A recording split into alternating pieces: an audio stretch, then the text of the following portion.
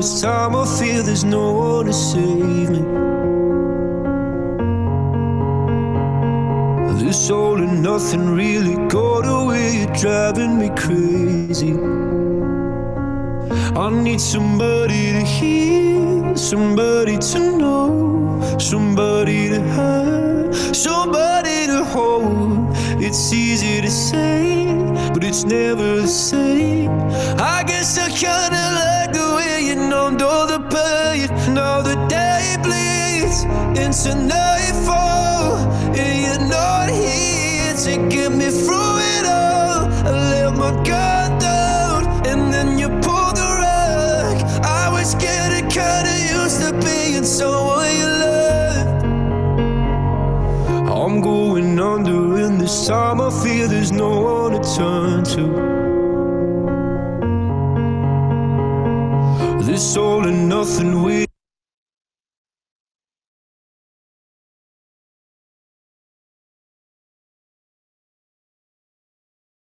Nothing we of loving, go be sleeping without you. Now I need somebody to know, somebody to hear, somebody to have, just to know how it feels. It's easy to say, but it's never the same. I guess I kinda like the way you help me escape. Now the day bleeds into nightfall, and you're not here to get me through it all. I let my guard down, and then you pulled the rug. I was getting kinda used to being someone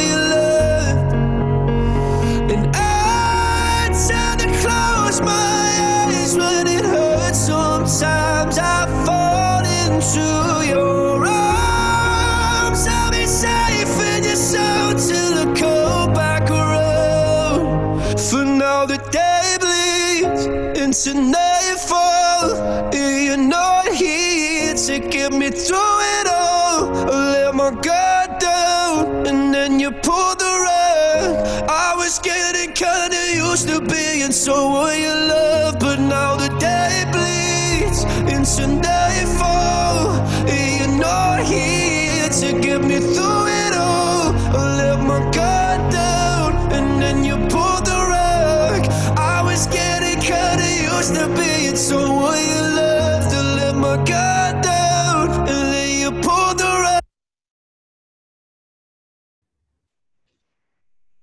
Bueno, buenos días a todos. Hoy damos comienzo a la agenda del día martes de la semana de piso pelviano. Así que una jornada muy interesante el día de hoy. Vamos a comenzar con la charla del doctor Carlos Rato sobre tratamiento quirúrgico de la incontinencia. Más tarde, a las 5 de la tarde, vamos a tener la charla del doctor José María Remestroch sobre el tratamiento médico de la incontinencia. Y después a las 18.30 voy a hablar yo sobre la costo-efectividad de la neuromodulación sacra. Así que estamos muy contentos por cómo fue el día de ayer. Queremos agradecer fundamentalmente eh, el apoyo de la gente, el apoyo de muchas sociedades científicas. Lo hicimos ayer, pero lo vamos a hacer todos los días. Agradecer el, la verdad que el enorme apoyo y eh, colaboración la difusión que tuvimos de Medtronic, en primer lugar de todos, que son este, los que estuvieron codo a codo, que es una palabra muy de moda ahora con, con la pandemia, así que estuvimos codo a codo trabajando este, desde hace ya unos cuantos meses con esto. Después agradecer mucho a la Sociedad Argentina de Coloproctología, a la Asociación Argentina de Cirugía, a la Asociación Latinoamericana de Piso Pelviano, la Asociación Latinoamericana de Coloproctología, la Asociación Española, Colombiana, Chilena, la Sociedad Mexicana de Cirujanos de Colon y Recto, el Colegio Mexicano de Especialistas en Coloproctología, Sociedad Paraguaya, Boliviana de Coloproctología, la Sociedad de Cirujanos Generales de Perú, la Organización Panamericana de Gastroenterología, la OBGE, la FAGE, la Federación Argentina de Gastroenterología, la Asociación Uroginecológica Argentina, el Foro Uroginecológico Argentino, el Círculo de Motilidad del Aparato Digestivo Argentina, el CIDEMO, la Sociedad Kinésica Argentina de Pelo y Perineología, SOCAP, el CIP, Centro Integral de Piso Pelviano, el Centro de Innovación en Piso Pélvico de Chile, que es de, donde trabaja el doctor Pizarro, que va a estar participando mañana con nosotros, y el Consultorio de Motilidad Digestiva. Pero fundamentalmente a todos y cada uno de ellos, estas sociedades, y a muchos doctores que desinteresadamente están participando con nosotros este. El doctor Gualdrini va a presentar otro rato y seguramente le va a volver a agradecer, pero no tenemos más que palabras de agradecimiento. El doctor Rato está eh, guardado con la cuarentena, pero él está en, este momento está de vacaciones eh, y hizo un break en las vacaciones para participar hoy y también participó ayer activamente en la sesión con, con André Dor, así que bueno, muchas gracias este, por estar con nosotros. Eh, voy a presentar al doctor Waldrini, que va a ser quien va a presentar a los speakers y los panelistas, eh, los cuales después, gracias obviamente a todos, a Pablo Piccinini, grandes amigos, Mariano Weingurt, eh, al doctor Weinstein, por estar acá con nosotros. Así que bueno, voy a dar comienzo a presentar a nuestro moderador, que es el doctor Waldo Waldrini, es médico del Centro Privado de Coloproctología de nuestra casa, médico cirujano, especialista en coloproctología, él también es gastroenterólogo, muchos lo conocemos, pero yo eh, quiero que presentemos a todos porque acá tenemos una población de kinesiólogos, urólogos, gastroenterólogos de distintos lugares de América y de España, así que para que todos sepamos quién, quiénes somos los que estamos del otro lado de, estos cubos.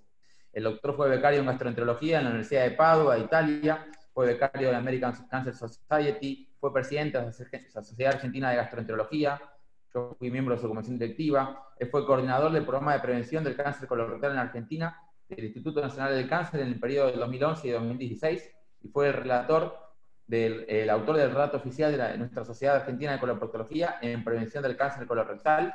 Así que bueno, doctor Baldrini, le paso la palabra eh, y muchas gracias a todos nuevamente.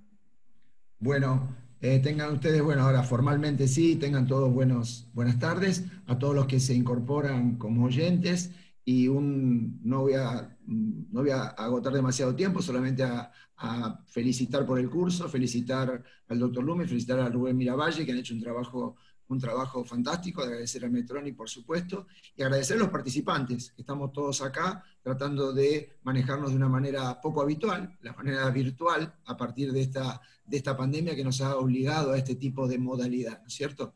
Pero bueno, yo les voy a presentar a quienes son los, el orador, que es el doctor Carlos Rato. El doctor Carlos Rato es cirujano especialista en coloproctología y es profesor asociado de cirugía general de la Universidad Católica de Roma y jefe de la unidad de proctología en el Hospital Universitario de la Fundación Gemelli en Roma, Italia, nada más ni nada menos. Luego tenemos a nuestro amigo y conocido también, el doctor Pablo Piccinini, que es médico cirujano especialista en coloproctología, staff de coloproctología del Hospital Universitario CEMIC, médico de planta de coloproctología del Sanatorio Mater Dei, docente de pre y posgrado de cirugía del Instituto Universitario CEMIC y autor de múltiples publicaciones referentes a patología del piso pelviano e incontinencia. También nos acompaña el doctor Carlos Weinstein desde Chile, cirujano coloproctólogo, a cargo del Centro de Especialidades en Piso Pelviano de Clínica Las Condes Santiago. Bueno, parece que Claudio ahora será una de las últimas presentaciones de Las Condes, ya que se va, se va a trabajar probablemente a otro lugar con, con un colega también amigo. Es fellow, fue fellow de la American College of Surgeons y fue miembro de la Sociedad Europea de Coloproctología y fue past president de la Sociedad de Uroginecología y Piso Pelviano de Chile.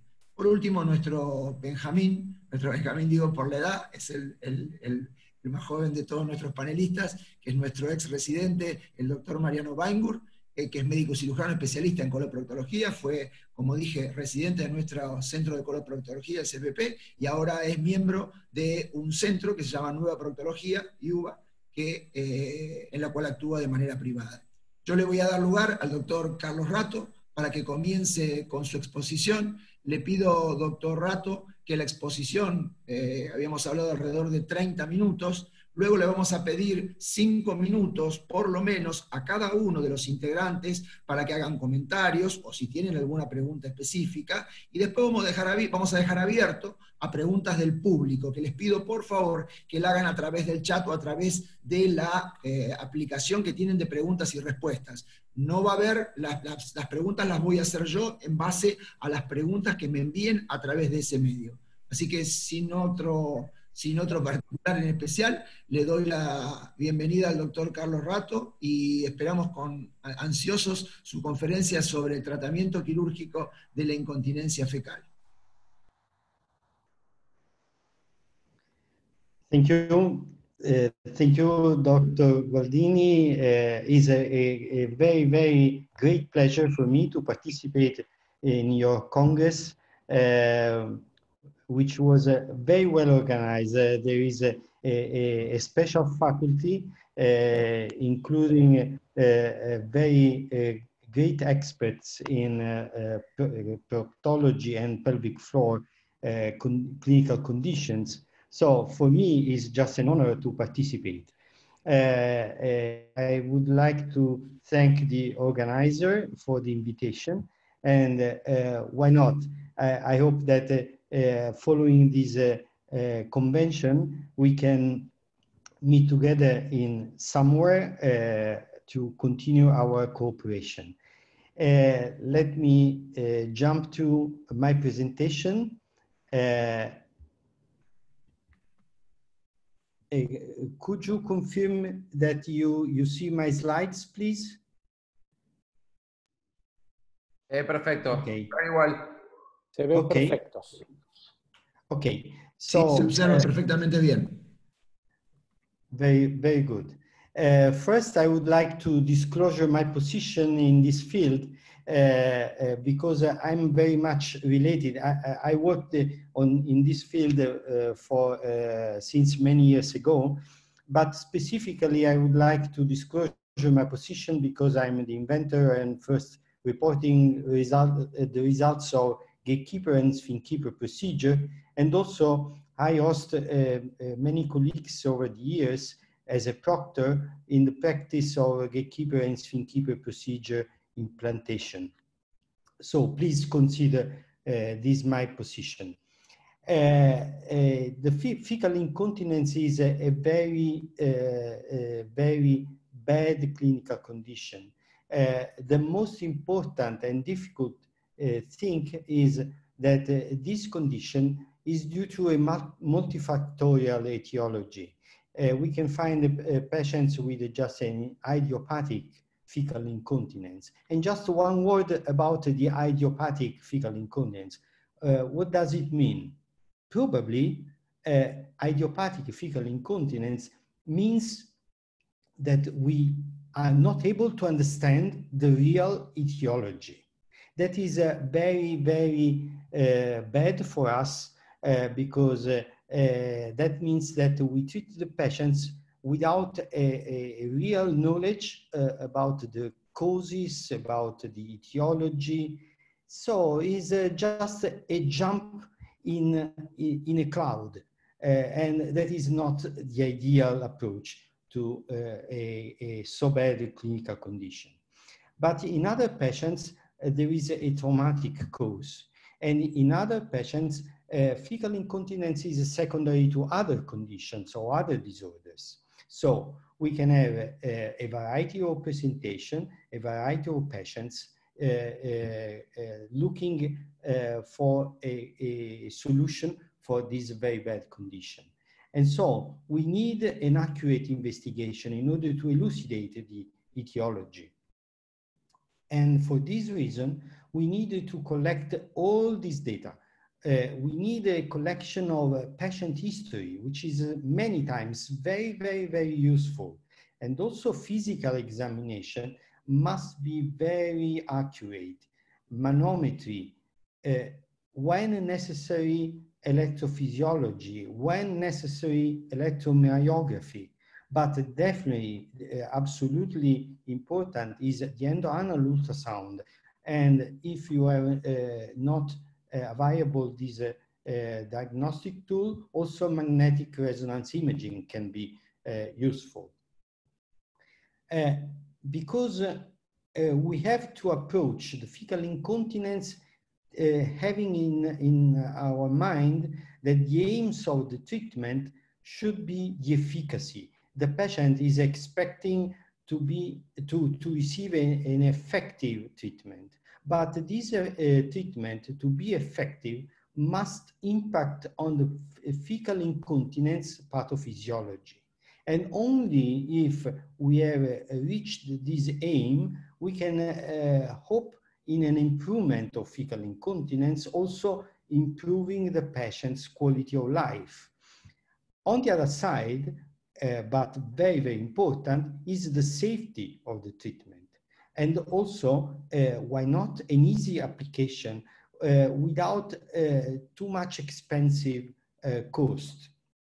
Because we have to take in mind, and in Italy, unfortunately, our administrative authorities take in mind daily uh, to have a, a, an acceptable social cost for the treatment.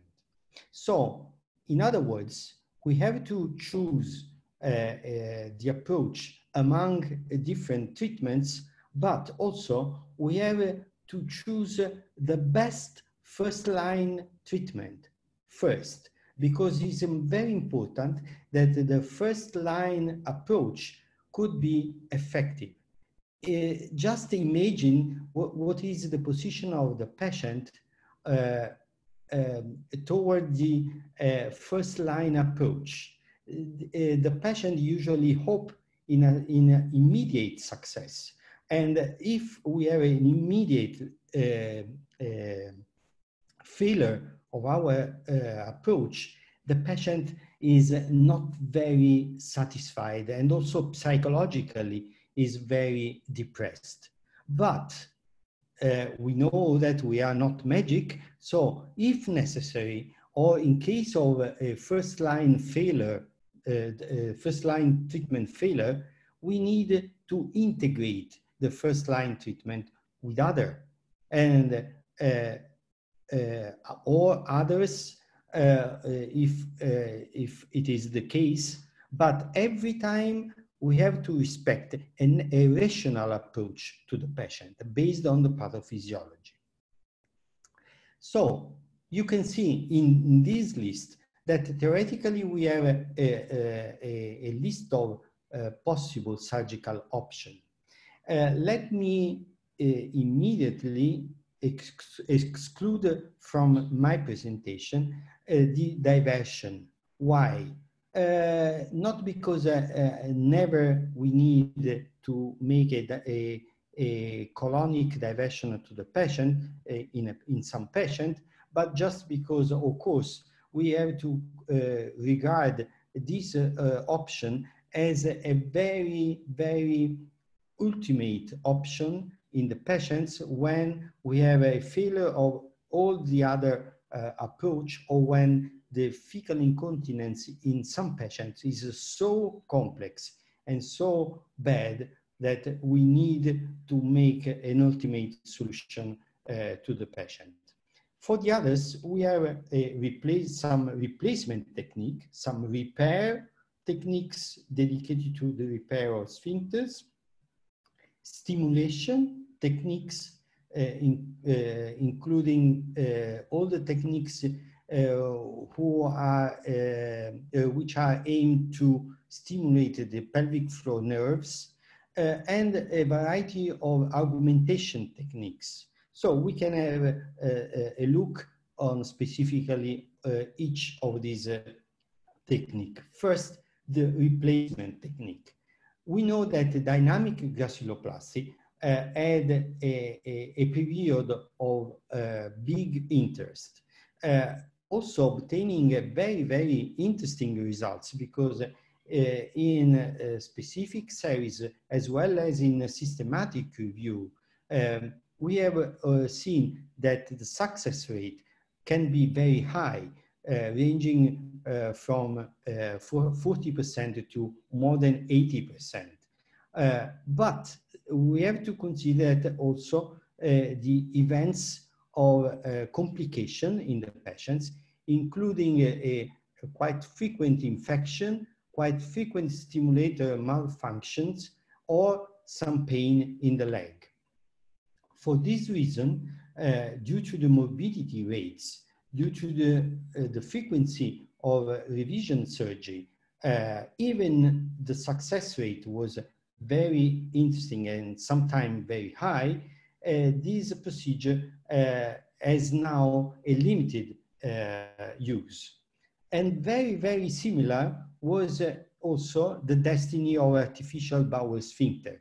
We know that different device uh, were introduced in, in the practice, but uh, as uh, documented in this systematic review, you can see that the vast majority of patients needed a surgical revision of the system uh, or some, many times a definitive explantation of the device, uh, even in roughly 60% of patients, uh, still the device was in function.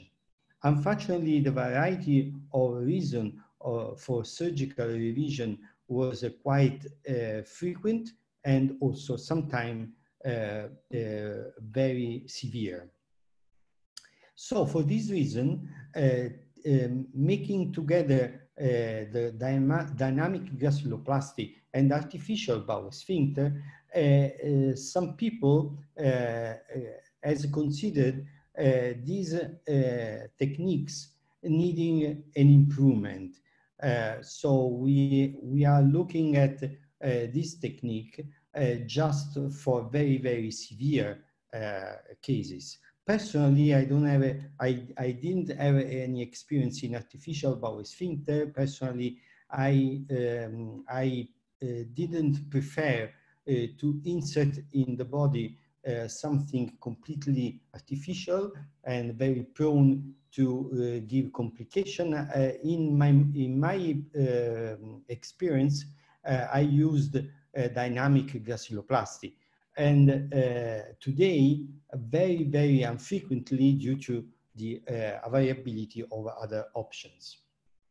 Another option uh, was the magnetic anal sphincter promoted by Paul-Antoine Lehur with, a, with a, a very nice, uh, fascinating uh, design of this device uh, constituted by magnetic beads able to uh, close or open uh, the anal canal uh, in, in the attempt to control the continence.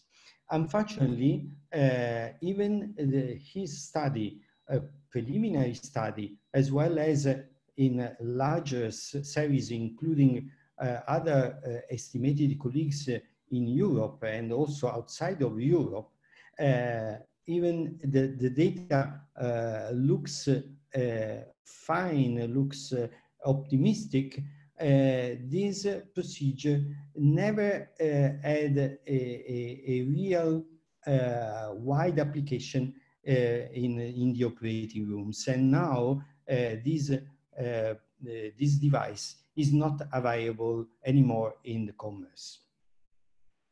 So we can uh, uh, leave the extreme measure to uh, control fecal incontinence to uh, treat uh, the repair. The repair is uh, really the, the most frequent um, option to treat fecal incontinence because, particularly because of use of sphincteroplasty. Post-anal repair uh, was abandoned, practically abandoned uh, some decades ago uh, because of not very good and sustained results over the time. but sphincteroplasty definitely is the most appreciated uh, uh, method to repair uh, a sphincter lesion the, the aim of the approximation of a sphincter stump after a, a lesion uh, was to restore the muscle continuity in order to restore the physiology and the fecal continence. Uh, uh, this, uh, this aim is uh, very much uh, attractive, was very, very much attractive uh, almost everybody involved in this field uh, performed the repair. Uh, but definitely there is some problem. We know that after a sphincter lesion, there is a retraction of the sphincter stump uh, particularly the external sphincter, but much more, uh, much more uh, um, difficult is when also the internal anal sphincter is involved by the lesion. So uh, when we use a, a, a sphincter, when we have a, a sphincter injury, uh, we can have immediate uh, uh, fecal incontinence, but sometimes also the, we can have patients with which bec who become Eh, symptomatic later eh, eh, if we consider the sphincter injury. Why? Because there is a, a, a quite physiological loss of contraction uh, ability of, of, the, of the muscle, uh, and then later uh, the patient start to suffer of fecal incontinence. And then we have the necessity of repair. Uh, when we perform the sphincter repair, we, we have good results in the short middle term in the majority of patients, ranging uh, between uh, 75 to 85% of patients. Uh, very frequently, the urgency may persist, uh, but uh, much more important in the last years Uh, was uh, uh, the, the note that in looking at the long-term results, the, the function to uh, maintain the continence uh, uh, um, will deteriorate over the time. And then at the, at the end of history, less than 50% of patients remain continent in a period of five to 10 years after the sphincteroplasty. Uh, these, uh, uh, these data were very well demonstrated in this elegant uh, study in this elegant systematic review. Uh, so the, the authors uh, um, elucidated this data, but also in the other side, and many times we forget this concept elucidated by the author of this systematic review, they also have noted that the patient quality of life and satisfaction remain relatively high. So uh, on this regard, the sphincteroplasty uh, doesn't uh, seem a, a, a, procedure to forget. And I would like to underline this concept. Why? Because now we, we, we, have a, uh, we are living in a, in a, a long period where the uh, uh, sacral nerve stimulation looks like the best option uh, to treat fecal incontinence. Uh, what is a sacral nerve stimulation? Sacral nerve, stimulation uh, is a, a method uh, uh, really not completely understood in the mechanism of, of function. Uh, we try to in, improve this, the, the nerve stimulation in the pelvic floor, including not only the uh, rectoanal area, but also the urinary area. Uh, we, uh, we can have also in some situation uh, the, uh, the activation, the retroperistaltic activation of the sigmoid or left colon, uh, and this ability is or could be useful in constipation, but definitely uh, the uh, electric, uh, electric stimulation is directed to the pelvic floor nerves.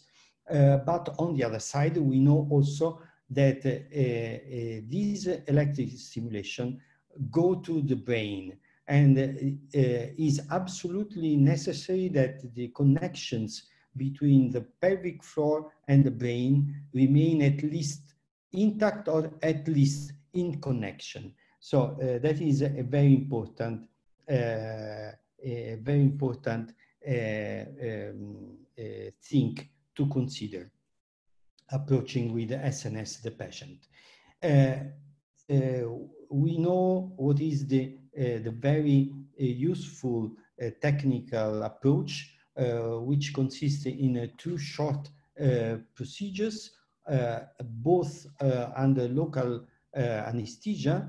Uh, the first is uh, dedicated to the placement of the electrode, a four-point electrode, which can give us the, uh, the possibility to, uh, to, uh, to appreciate the effect in the patient during a test period. but, and if the, the test period is positive with a, a, an improvement of fecal, fecal continence, uh, we can proceed to the implantation of, uh, of definitive stimulator. But if uh, the, the test is negative, the electrode will be removed. Uh, the efficacy of this therapy uh, was uh, demonstrated by now a very large literature, including this large series from the United States uh, and also demonstrating uh, the, the effect on the uh, fecal incontinence severity score and as well as on the uh, patient's quality of life.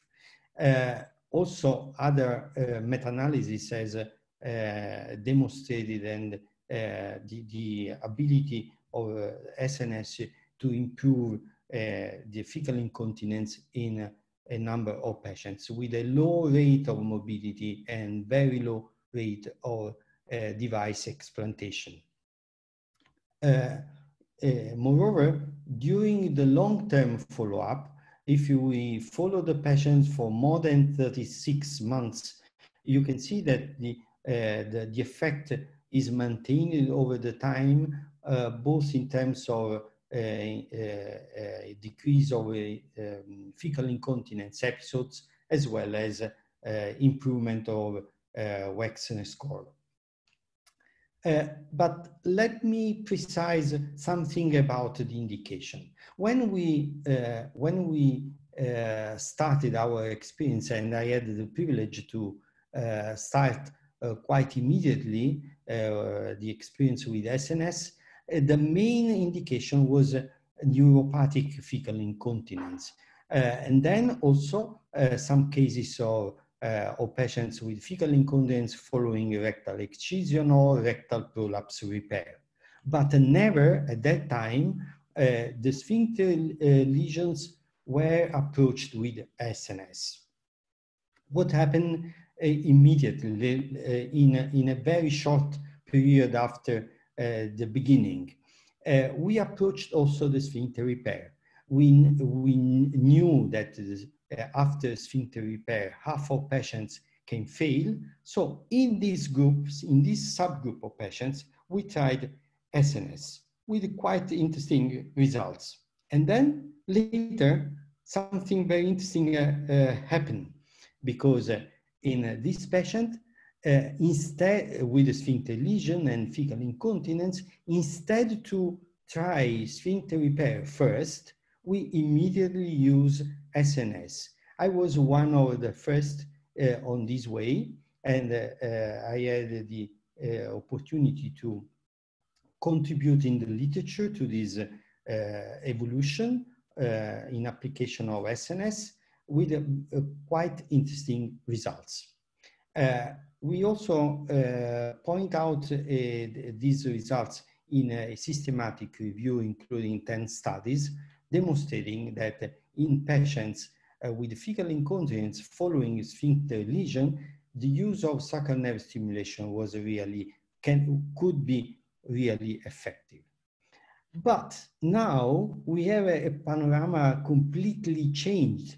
Uh, I don't know, maybe too much changed because if you look at uh, this uh, very nice and interesting study assessing the, uh, the ability of surgeons or coloproctologists uh, to approach fecal incontinence in the New York State, this study was is very recent, 2018, you can see that the majority of, uh, of surgeons uh, is able to approach uh, this kind of patients with SNS instead of uh, the classical sphincteroplasty. You can see that the lines are crossed now in favor of SNS. That is quite strange in my mind because I don't think that the right way to approach uh, patients with a sphincter lesion is uh, threw away the sphincteroplasty and use only sacral nerve stimulation. Also because we have to uh, remember that uh, SNS is a, a, a lifelong uh, procedure uh, and so patient and particularly patients very young uh, must maintain this artificial device for the life. When necessary, when useful, why not? But we have to take in mind these considerations. Another field of application for SNS can be uh, fecal incontinence after anterior resection. So in other terms, the last uh, condition. Uh, we, can, we, we have a different evidence about the efficacy of SNS in this kind of patients, and you can see that uh, both the fecal incontinence scores and the quality of life improved in the majority of patients. And in fact, uh, quite recently, a systematic review concerning seven papers and 43 uh, patients implanted uh, uh, demonstrated a, an improvement of fecal incontinence symptoms in th three-fourths of patients, concluding that SNS used in a LARS patient has a success rate very comparable to the use of SNS in other forms of fecal incontinence. Uh, uh, and finally, uh, uh, the, the, the, use of SNS in LARS patients were compared to the use of SNS in patients with other forms of fecal incontinence, demonstrated that uh, uh, the, the, effect was very, very much comparable also over a quite long uh, follow-up. So now the actual indication for an SNS uh, is not only neuropathy or rectal excision or rectal prolapse, prolapse but also sphincter lesion. But my the, the some words of caution uh, uh, is uh, can we use SNS in everybody with fecal incontinence? Uh, I have some caution on this concept because I think that uh, the, with this approach, we can have a, a, a, very high risk of failure for this uh, uh, very interesting therapy. Uh, and maybe in, uh, uh, in a quite long follow-up, we can be um, not very satisfied like today in using SNS. So uh, we must pay attention in the real good indication for this therapy. Uh, uh, there is some uh, good news about the sacral nerve stimulation because technology uh, seems help uh, the, the application of this approach. we know that different um, company has developed systems to be rechargeable and also uh, protective uh, in the use of MRI, uh, which can be frequent in some patients. There is another form of, of of stimulation of sacral nerves, which is uh, the posterior tibial nerve stimulation. Uh, as, uh, um, as you can see, as you can know, uh, this stimulation is very peripheral, can be approached by insertion of a needle or by a superficial electrode on the root of a, a tibial nerve, a posterior tibial nerve, reaching under stimulation, reaching the stimulus uh, to the pelvic area uh, including uh, bladder and the rectoanal area. Uh, the, after a, a, beginning of enthusiastic results, a, a, randomized study performed by Charlie Knowles has demonstrated that an equivalence of results uh, between PTNS and sham treatment in patients with sacral nerve stimulation. And later, uh, uh, in uh, this uh, systematic review and meta-analysis, including only four studies, uh, on uh, 300 patients, there was an improvement of symptoms both with sacral nerve stimulation and PTNS, but without any significant difference between these, these two approaches. The Wexner score improved much more with SNS compared to PTNS. Uh, and also uh, the, the sacral nerve stimulation had a, a, significant reduction of fecal incontinence episodes and uh, obtain a greater improvement of fecal incontinence quality of life compared to PTNS. So in terms of results, uh, SNS was significantly uh, better uh, in terms of function and quality of life. But also, again, we have to consider that SNS is a, a, a lifelong uh, uh, therapy, uh, quite difficult to maintain and quite, quite difficult to follow compared to PTNS, PTNS which is very simple, probably sim simplistic therapy, uh, the, these two approaches are completely different and we have to take in mind. So uh, the last uh, approach is the augmentation. The augmentation was approached with radio frequency energy uh, with not very, very enthusiastic results uh, not only in the uh, short term, but particularly in the long term. You can see some example of studies published uh, and definitely today should be not recommended for patients with fecal incontinence uh, uh, until we have uh, some news in the future.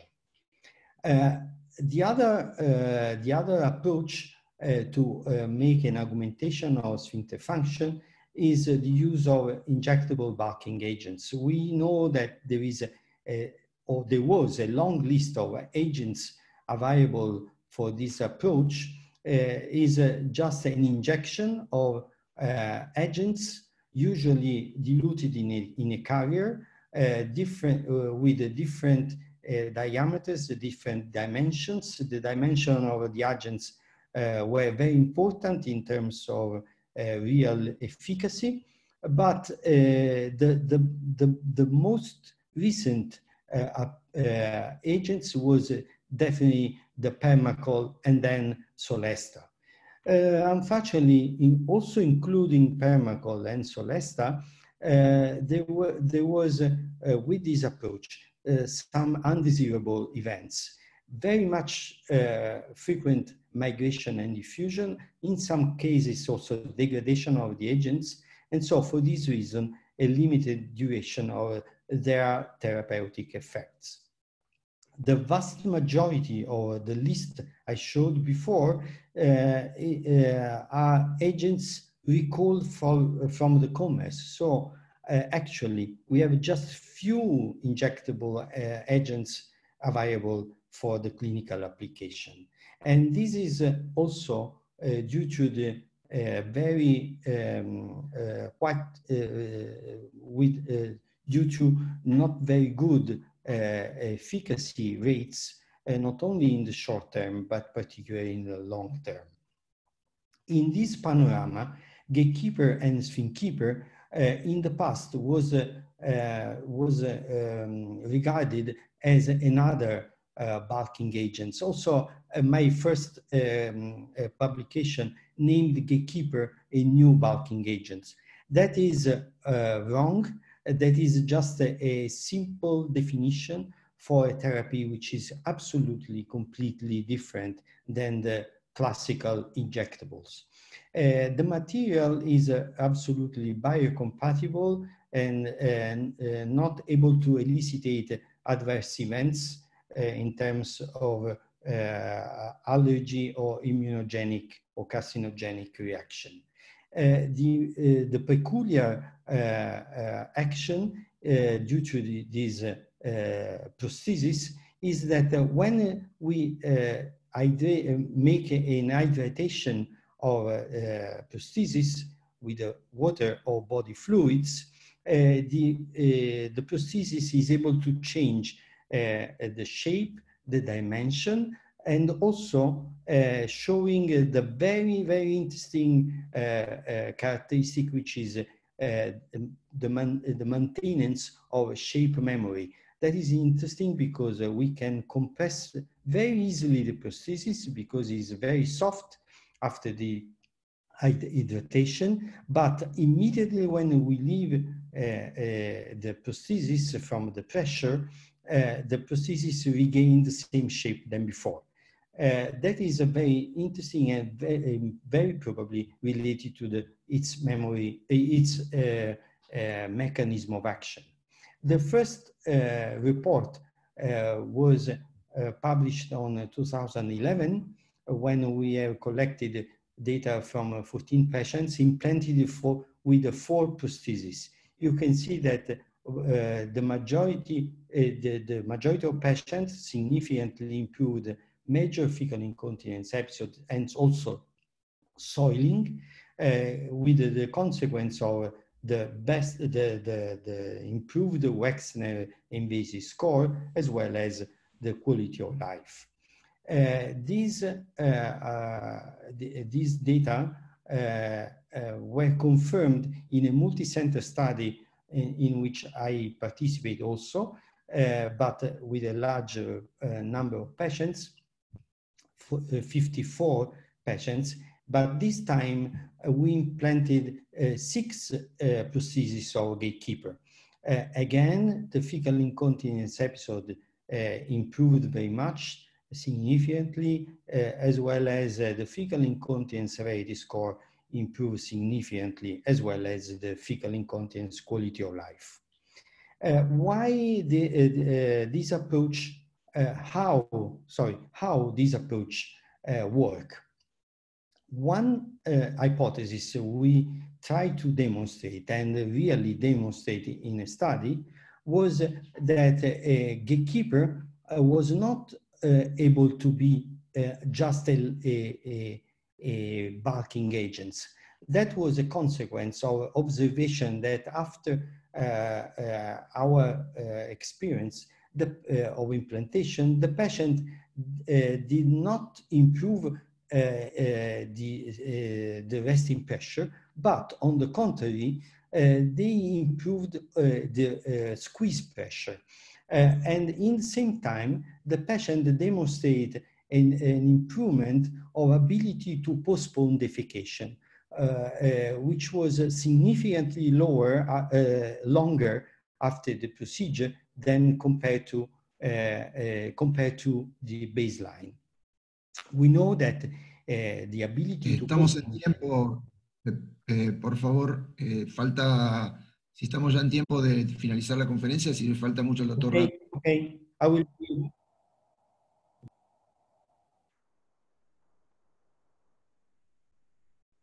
No, no, no, no, not, not to my, uh, just a few slides and I have finished. Okay, sorry for uh, my... Okay, okay. Time.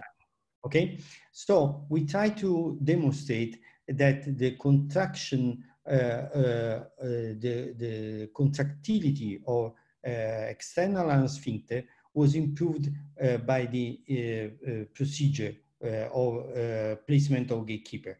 And in, in fact, in this paper, we demonstrate that the muscle tension was significantly improved after the implantation of gatekeeper. Other procedure, uh, uh, sorry, other series were published uh, with similar results. Uh, this is the study uh, in, uh, in Spain and also more recently in another study in Italy.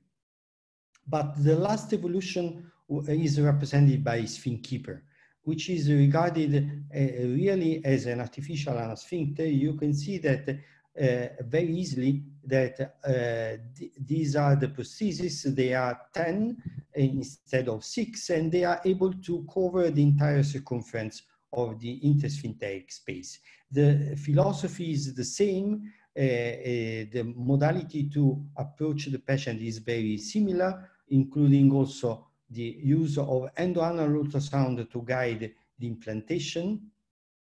And these are uh, our last series, including 42 patients implanted with a SphinKeeper. You can see that some more patients, 14 out of uh, 42, had a sphincter lesion. So uh, the population of patients is uh, uh, different, but again, we can have good results in all the type of incontinence, soiling and incontinence to gas, liquid and solids, as well as the impact on the fecal incontinence severity score, and in particular, uh, soiling and in particular also fecal incontinence quality of life uh, and anorectal manometry. Again, in anorectal manometry, we have an improvement of squeeze pressure due to the SphinKeeper.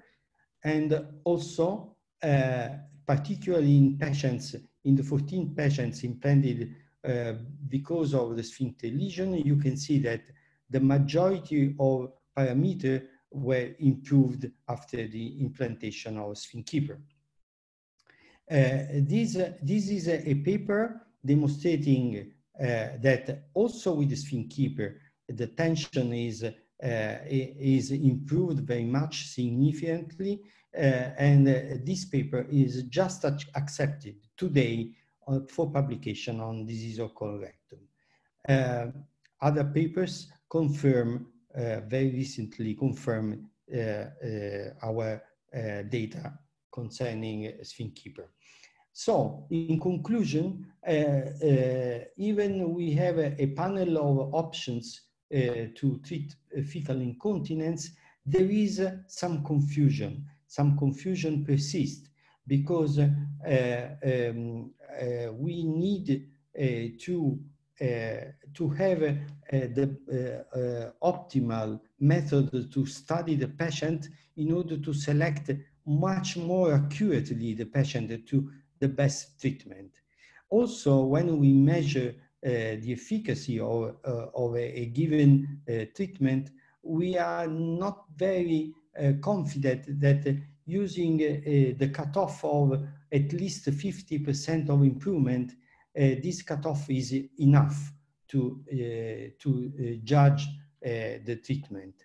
Also, I, I have some doubts that, about the concept that more aggressive is the surgery, more effective will be the results. That is not every time uh, true. And uh, another concept very uh, interesting and very intriguing is that uh, we as a surgeon and, uh, and the patients should be convinced that not only in every case, not only one therapy can be the winner or uh, our therapeutic approach. But sometimes we have approached the patients with a combination of treatment. So uh, first we have to approach uh, the patients concerning pathophysiology. We have to decide the best uh, uh, therapeutic approach. Sometimes we need, quite frequently, we need technology. We, so uh, some, quite frequently we need to have some cost in our approach. Uh, first, we should think to a non-aggressive approach, and sometimes we need to uh, approach the patients with uh, multiple therapy. Uh, uh, I have uh, concluded my presentation, but I would like to invite you to an international, to two international webinars we are organized for the next November 12 and December uh, 18 uh, concerning the techniques of treatment for fecal incontinence and obstructed defecation. This is a, just a preliminary approach to our uh, following Congress, which will be uh, in uh, June 22 to 24 June 2021 uh, in Rome, and we very much hope to, uh, to be able to organize the Congress uh, in presence. And uh, of course, I would be very happy if you can participate. Thank you very much. And sorry for my delay.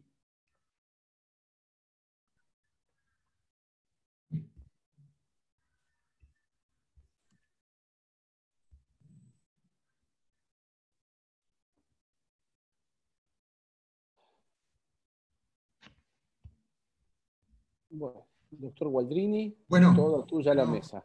Eh, muchas gracias por la conferencia, doctor Carlos Rato, muy, completa, muy completa fue. Le voy a pedir, y vamos a ir así por el orden que yo los veo ahora, que hagan sus comentarios. Eh, algunos tienen apagado el micrófono, así que les pido que los prendan, tanto Mariano Weingut, Pablo Piccinini y el doctor Claudio Baiste, que ahora lo acaba de conectar. Eh, le voy a pedir, eh, en virtud de cortesía para nuestro invitado chileno, el doctor eh, Claudio Weinstein, que nos haga los comentarios que quiere hacer en cinco minutos o alguna pregunta al doctor Carlos Rato referido a la conferencia. Recordemos que, recordemos que el tema neuromodulación sacra no es para, no es para eh, digamos, para dejar de hacer preguntas, pero como el tema neuromodulación sacra va a ser extensamente tocado dentro de, dentro de todo el curso, probablemente eh, dejemos las preguntas para el resto de las alternativas que mencionó el doctor Carlos Rato. No, no, no quiero influenciarlo, pero es nada más que una cuestión de, de que neuromodulación se va a ver en repetidas oportunidades. Adelante, Claudio, lo que, lo que quieras comentar o lo que quieras preguntar. Muchas gracias. Eh, ¿Me escuchan? ¿Me escuchan bien? Sí, Bueno, primero que nada agradecer al comité organizador la invitación a este webinar. Yo creo que en estos tiempos de pandemia. ¿Aló? se escucha con un poco de eco. Escucha muy mal. A ver si. Muy mal. ¿Mejor ahora? Ahora, Un poquito ¿Escucha mejor, mejor? Ahora. sí, sí, a ver, prueba ahora.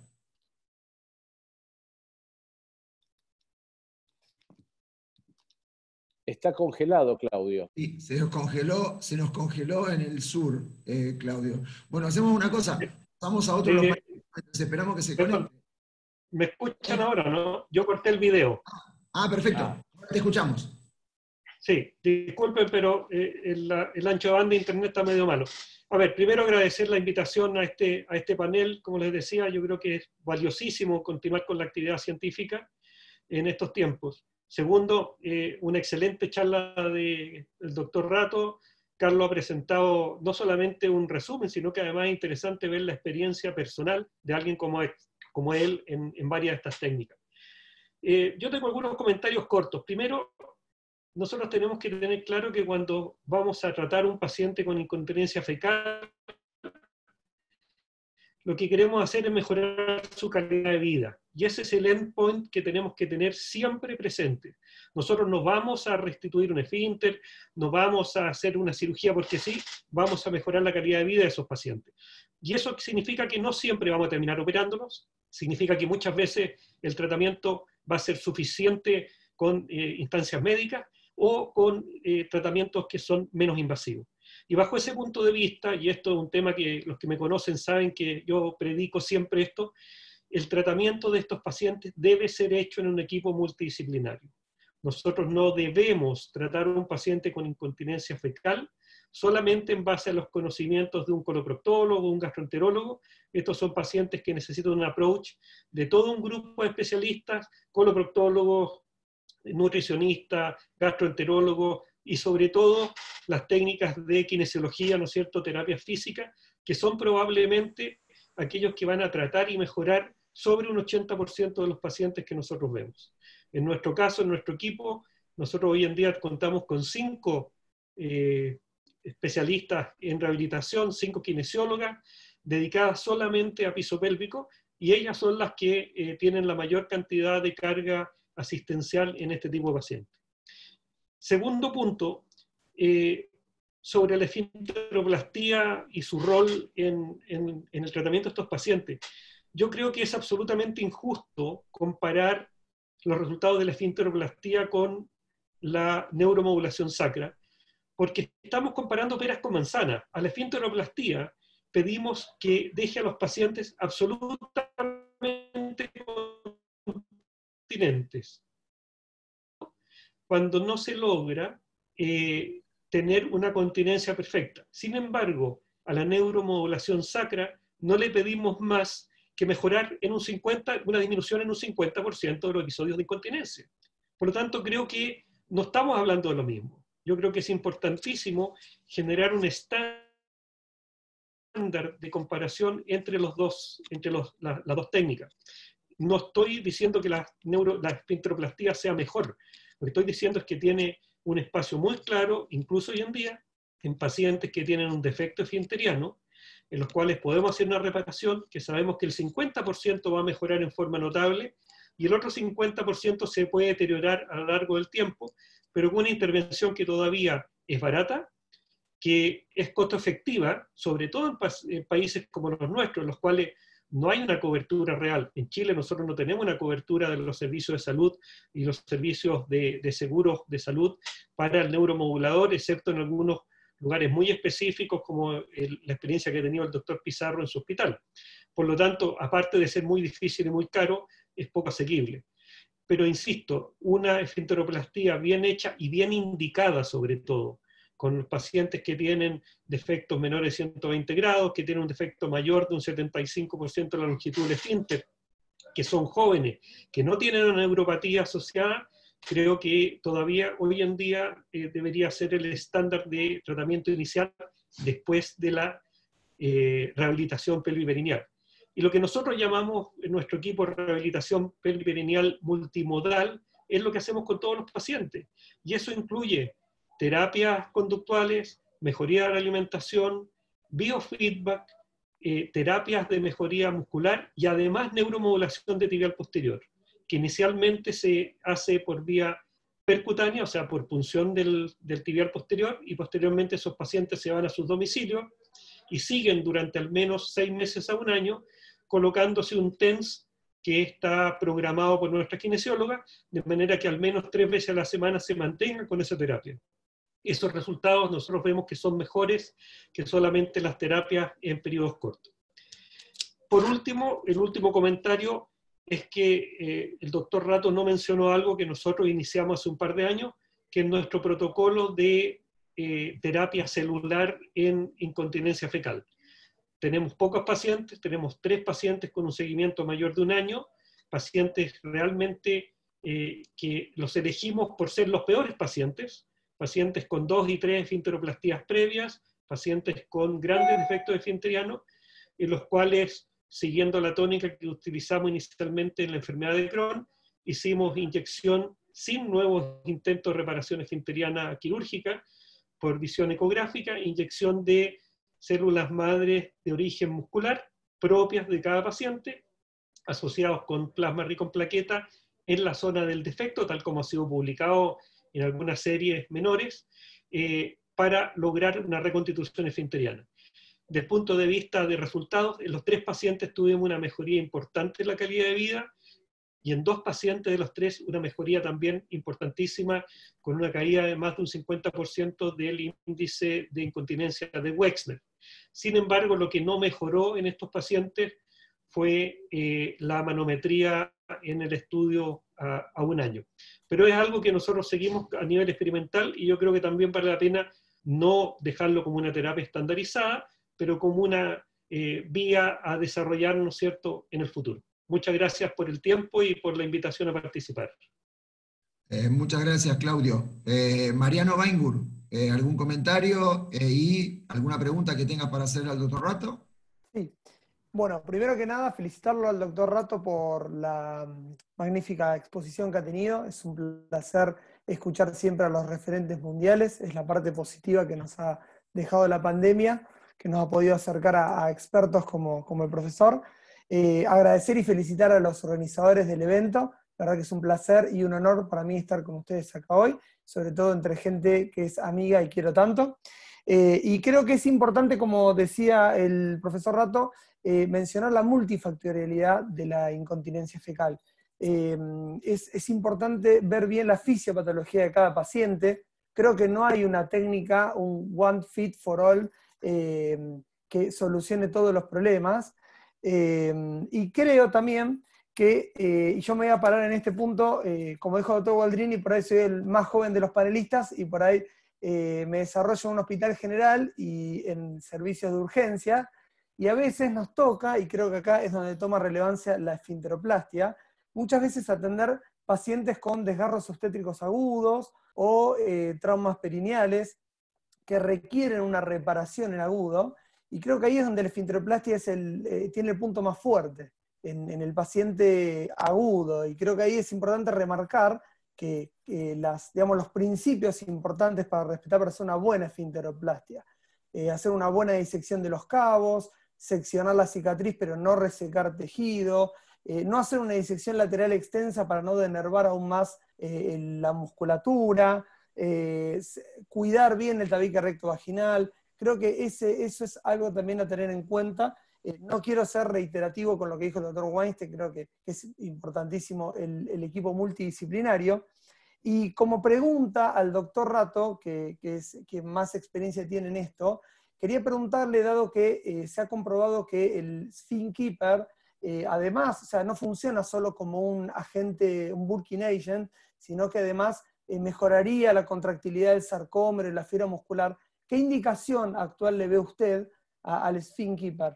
¿En qué casos indicaría eh, un, un, dispositivo como este? Puedo agregarle algo a la pregunta, ya aprovechando una pregunta del público que estaba precisamente dirigida a eso y estaba como un poco más dirigida a ¿cuál sería la decisión del doctor Rato para decidir por Sphin Keeper y no por una neuromodulación sacra? ¿Cuál, cuál sería su decisión eh, para cambiar el, la opción terapéutica?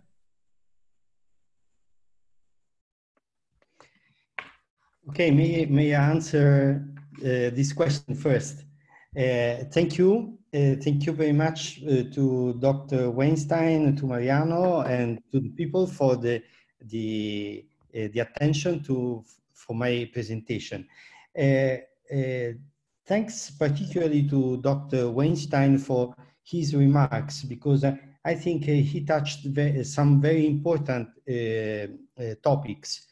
Uh, unfortunately, I didn't uh, touch uh, some aspect of the treatment of fecal incontinence because just because and only because my topic was concerning surgical treatment.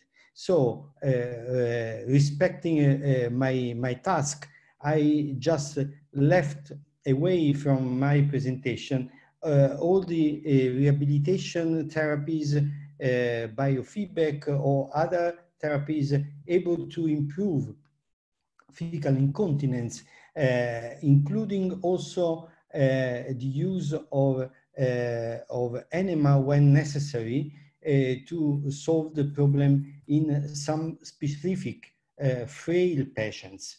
But we know and we use this approach in some patients uh, uh, and in fact, we don't uh, treat all the patients in the operating room. many patients are treated outside of the operating room. Uh, concerning the comparison between sphincteroplasty and uh, SNS, I'm absolutely uh, agree with you. And may I underline that I agree with you that we are uh, specifically uh, speaking about Apple versus peers. I agree with you. And for this reason, even I was one of the first user of SNS in patients with sphincter lesion, I'm afraid, I'm, I'm very worried about a, a, a prejudicated use of SNS in all kind of patients with sphincter lesion. First, to be clear, I, I think there is no place for SNS when the, uh, the sphincter lesion is very recent. So forget SNS when the patient had just uh, uh, some days ago, some weeks ago, some months ago, uh, a sphincter lesion. That is absolutely no place for SNS. We have to repair. First, we have to repair sphincters, and then we can look at the condition of the patient, and then in the in, in, later we can see if there is a place for another therapy, including sacral nerve stimulation. For this reason, I think that today, compared to the, to the recent past, we have a paradoxical application of SNS and sphincteroplasty, but particularly for SNS. Uh, we use uh, today much more SNS in non-ideal condition like sphincter lesion than ideal condition like neuropathy.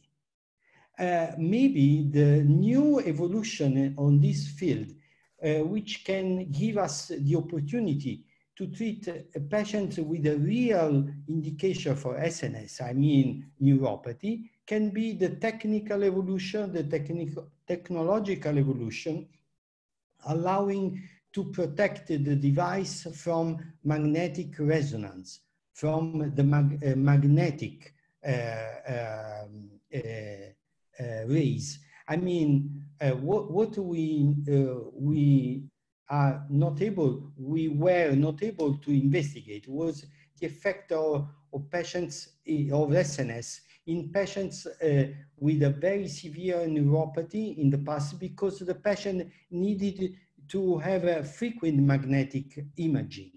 Uh, and uh, then was absolutely in opposition to use SNS. But now with the, the, new technology, maybe we can investigate this patient uh, uh, and to see the real efficacy. Uh, on the other side, why I didn't mention the stem cells. sorry, but we know that we are in a strange period uh, about uh, the relationship between scientific uh, evidence and the real practice in the daily uh, practice. Uh, Sometimes there is a risk that just a paper uh, showing good results in a very funny therapy can induce everybody to use that therapy in the uh, correct indication and in uh, not correct indication. I'm very worried for that. We have to be very honest. And this, uh, uh, this concept is very much related to my uh, introduction. Uh, when we approach patients with fecal incontinence, we have a, a, a, we are treating very frail patients also particularly in a psychological point of view. So stem cells, in my mind, are a very promising approach, very promising, very smart, very intelligent approach. But today, we need much more demonstration, much more evidence about the efficacy. And also, we, we need to have a clear demonstration that if I inject stem cells derived by muscle, they are able to become a, a, the sphincter muscle, differentiated between external anal sphincter or internal anal sphincter or both. So we know that the muscles in, in the anal canal are unique are not uh, similar to the other, are not uh, uh usually uh, similar to the usual muscle in the arms or in the legs. They have a specific configuration, specific shape, specific function, and also specific pathology. Uh, stem cells is absolutely a fantastic dream, but still today remain a dream. We need evidence. Uh, concerning the Mariano remarks, uh, you are absolutely right when you uh, underline the necessity to learn in a correct way the sphincteroplasty. That is not a, a matter of for coloproctologists only. That is a matter for general surgeons only, because we know that, that with the respect of our colleagues obstetrician or gynecologist, we know that usually they are not able to do sphincteroplasty in a correct way. So we, we need to uh, have in our hands the ability to do sphincteroplasty in a correct way. Also, we need to give our availability uh, to be in the operating room when the patient needs to be uh, submitted to sphincteroplasty as soon as possible. Also, I think we need to approach the obstetrician to make a prevention of the sphincter lesion. That is very important. There are some experience in other countries, particularly in France, for example, when where some people, obstetrician people, uh, uh, the the uh, necessity to change the strategy of, for example, episiotomy. And when they changed uh, their approach to the childbirth, they noted that the, the, the rate of, uh, of uh, sphincter lesion decreased significantly. We have to push them to have uh, uh, the correct attention to this step of, uh, of the, the, the, the life of so many women in the world. Finally, when I use a SphinKeeper uh, instead of SNS, never, never in my mind, because I think that sacral nerve stimulation is dedicated to neuropathy. Uh, SphinKeeper is dedicated to something different, in, in a, a, a, a condition different than the neuropathy. But also, we have to be conse consequent in the approach. And when we have a patient with a clear neuropathy, the first line approach is must be sacral nerve stimulation. Uh, if there is a soiling of or uh, patients with a limited sphincter lesion, we can approach uh, the patient uh, with a, a SphinKeeper. Uh, sometime we, we can have a, a, a patients who refuse every other kind of treatment and why not to use a, a very uh, quite simple approach, which, which is uh, simple in techniques, not simple in performance. Uh, but why not use sphincter, uh, SphinKeeper? But why not to cooperate the two therapies when the first one was not efficient to, uh, to gain a good condition to the patient. So uh, the, uh, the addition of two therapies co could improve the clinical condition of the patient.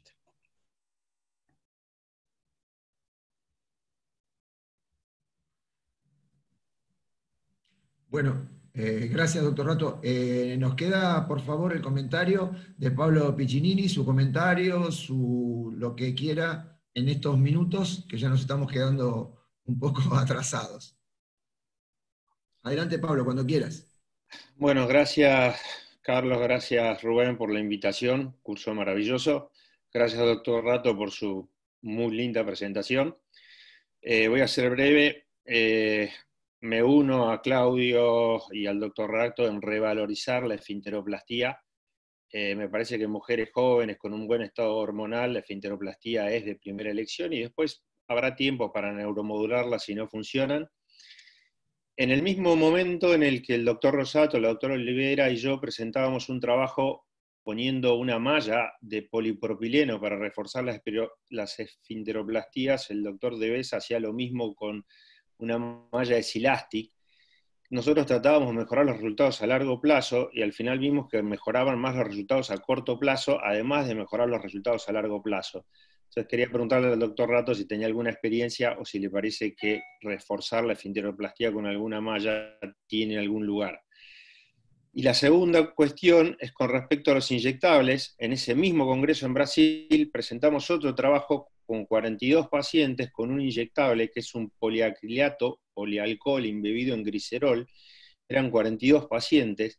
El índice de Wexner no era mayor a 12, o sea, eran incontinencias leves. No sé si esa es la indicación para el Greenkeeper, pregunta uno y nosotros logramos una mejoría importante en el índice de Wexner y también en la calidad de vida. Lo colocábamos submucoso. Ahí en la diapositiva me pareció ver que el Skin Keeper lo coloca interefinteriano. Esa sería mi segunda pregunta al respecto. Muchas gracias. Gracias, Pablo. Thank you, Pablo.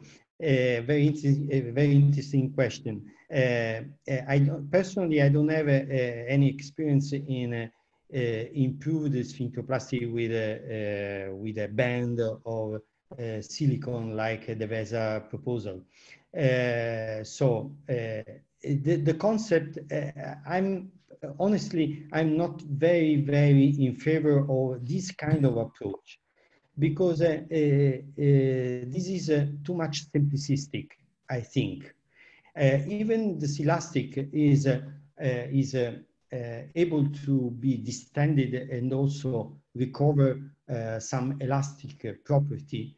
I think that it looks like a, a sling a more um, more um, effective sling because elastic, uh, but not uh, able to uh, give uh, any action on the external anal sphincter.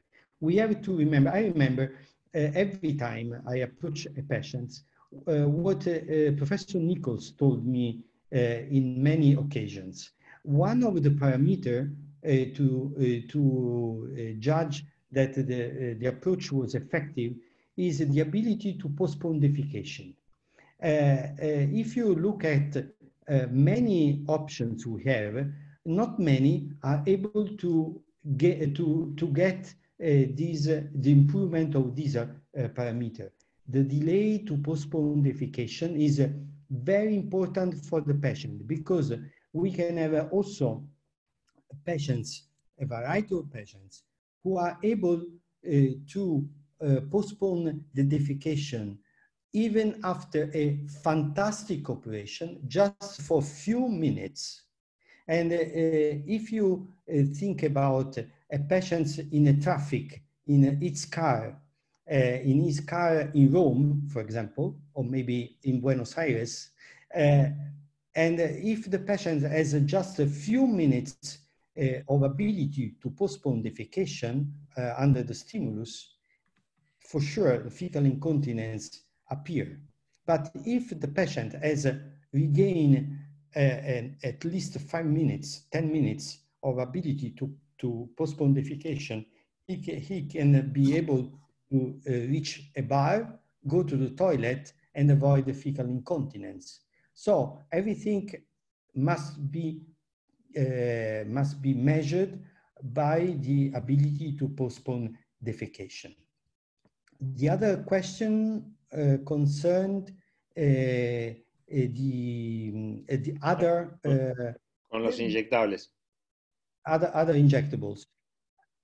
Yes, I don't have any, any experience with the polyalcohol. Uh, I know that uh, uh, this material exists and could, could, be a new option.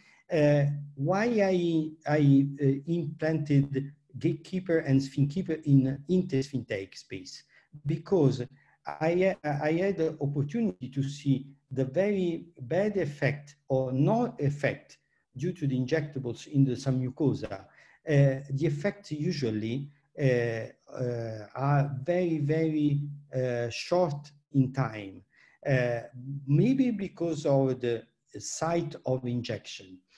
Of course, looking at the gatekeeper and SphinKeeper, uh, this material is completely different than in a dilute, diluted um, uh, microparticles, uh, which are the common injectables. So if you put a gatekeeper or a SphinKeeper in the submucosa, for sure, you have just a failure because uh, they, when you implant these prostheses, they are uh, very hard and rigid when you implant. And so in a few hours, maybe they are able to uh, make an erosion on the submucosa and go away from the site of implantation. For this reason, I decide from the first day of my experience, also in pigs, when I made the first experiments in pigs, I decided to put the, the prosthesis into the intersphincteric space.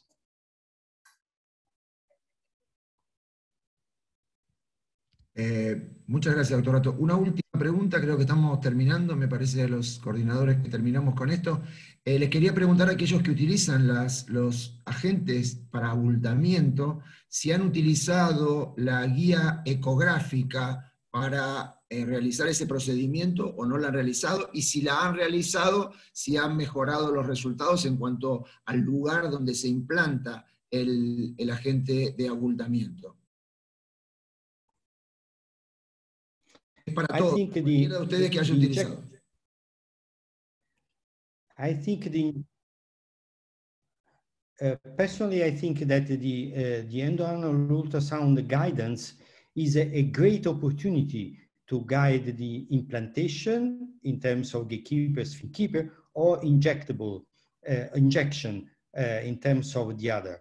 Of course, uh, uh, with gatekeeper and SphinKeeper uh, is very easy uh, because you can insert the uh, endoanal ultrasound probe into the anal canal and in the same time uh, check the position of, of the device cannula and then make the delivery.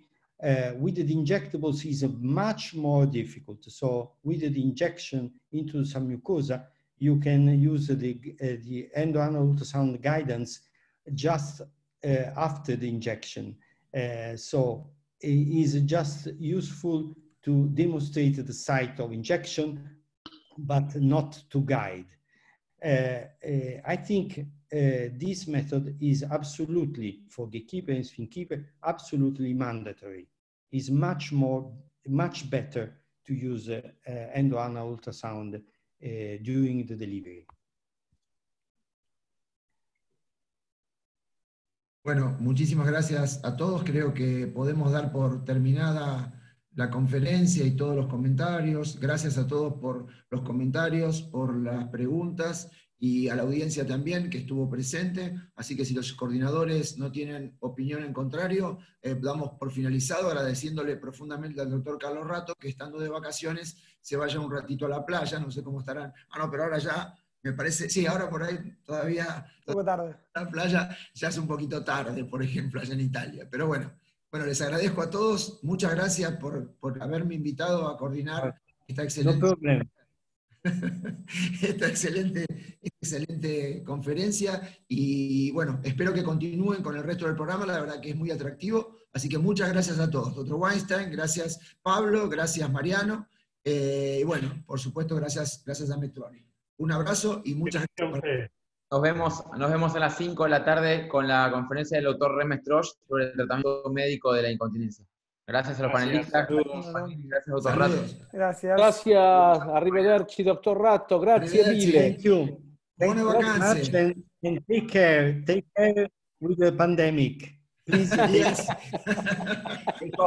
Grazie mille, buone vacanze. Grazie, grazie. Buon soggiorno.